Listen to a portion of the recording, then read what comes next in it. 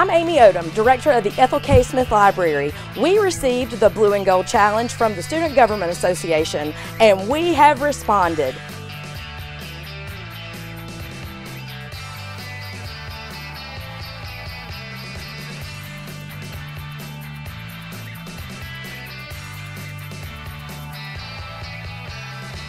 And now we challenge the Office of Student Involvement. You have one week to respond to your video and show your Bulldog pride in the Bulldog Nation. Remember, hashtag, it's a great day at the Ethel K.